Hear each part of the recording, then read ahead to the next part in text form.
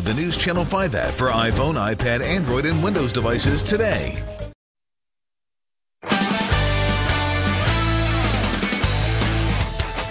The McDonald's Five on Your Sidelines begins now.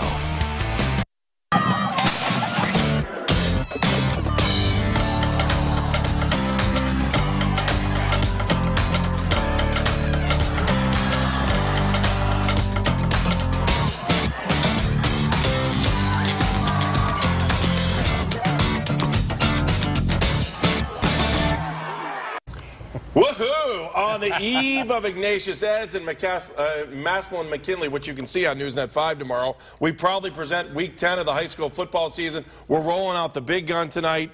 Just four Ooh. years removed from cheerleading in high school. That is Lee Jordan. How many years did you say? Just four years away. Oh, okay. I thought I thought you said something else. No, are you kidding me? All right, Mike is here. Nick Camino's here from WTAM. Let's roll it out for you because we got a ton of stuff for you tonight. We start with our game of the week, CVC title on the line at Kenston. This was a big one. Bombers get on the board first 10-yard run by Parker Gudula, 7-0 in favor of Kenston. The Bombers strike again. Offense was moving quick. 40-yard run to the end zone.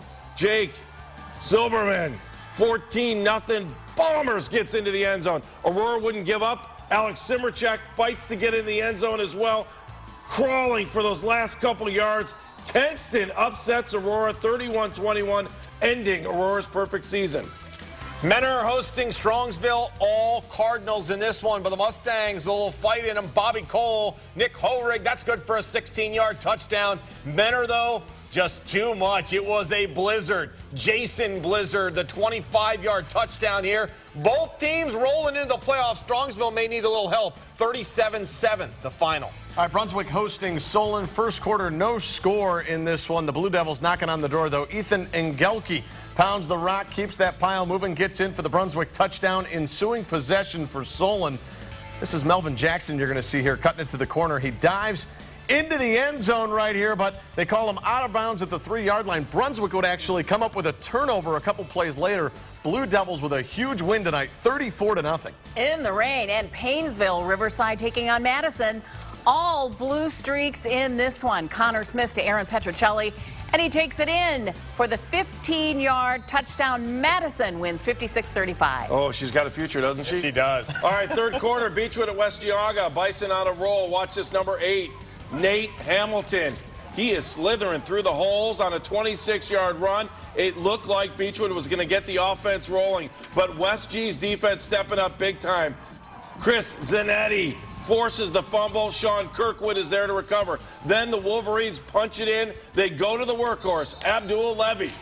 He gets the TD. Wolverines pass the Bison tonight 35 to 6. Happy Halloween from the student section of Rocky River, one of the best on the west side. They were taking on Elyria Catholic tonight. One play is all you need to see. Quarterback Matt Lowry doing his best Johnny Manziel impersonation. He'll go over there. Now I'm not going to go. I'm going to get a big block right there. And then back up the middle. River eliminates EC from the playoffs 49-21. He looked like Manziel. Did, didn't he? Youngstown Ursuline taking on the Fighting Irish of St. Vincent St. Mary. The Irish punting here inside their own 10, but that is blocked, and it's Aaron Jones recovering inside the end zone for a touchdown. The Irish using their ground game, though. Don Davis on the quarterback keeper. He found a lot of room here before stepping out of bounds and picking up 22 yards on the scamper. St. V's defense, they step up too. Marcus Hurd with the pickoff, and he goes untouched for the score. The Irish win it 38 to 6. And Elyria hitting the road to Medina. The Bees gambling on fourth down, and it would pay off. Colin Miner hooks up with Jake Venadia on the 18-yard touchdown strike. Medina in business, but Elyria would answer on the very next drive. Hunter Parch finds Brad Schneider, and he takes it to the house. Elyria heads to the playoffs with a 50-20 win. Up, oh, ESPN on line one. Lee Jordan, you have a job on SportsCenter. I'm ready. You're so I'm ready. Close. All right, time in the show now where we feature games that you sent to us. We send it to Leah Richards back in the newsroom. Hi, Leah. Thank you, boys and Lee. Our first game tonight comes from RRT Productions, Wood Midview, trying to finish perfect season with a get it done on the road against Berea Mid Park.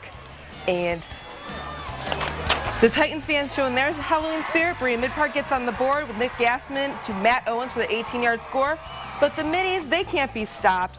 Dustin Crum throws a strike to Logan Boylan, and he gets in the end zone. Midview finishes with the perfect season, 38 to 28, and it's their first 10 0 season since 1999. These next highlights, courtesy of Decker Vision. Westlake fans dress up as they hosted Brecksville in the second quarter. 7 0 Bees, Luke Strnad deep downfield, leaping catch by Tyler Tupa, and then 39, and then a few plays later, Strnad to Patterson again. Five yard pass, 14 0 Brecksville at the half. They roll 35 to 7.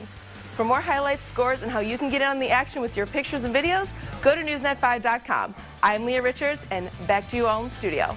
Thank you very much. Boy, we've got so many more teams that are fighting for the playoffs. When we return, we'll show you all those. We'll be all over our five county area. And who doesn't want to come back just to see Lee do more highlights? That's right. Let's she go. rocks. She rocks. Back after this.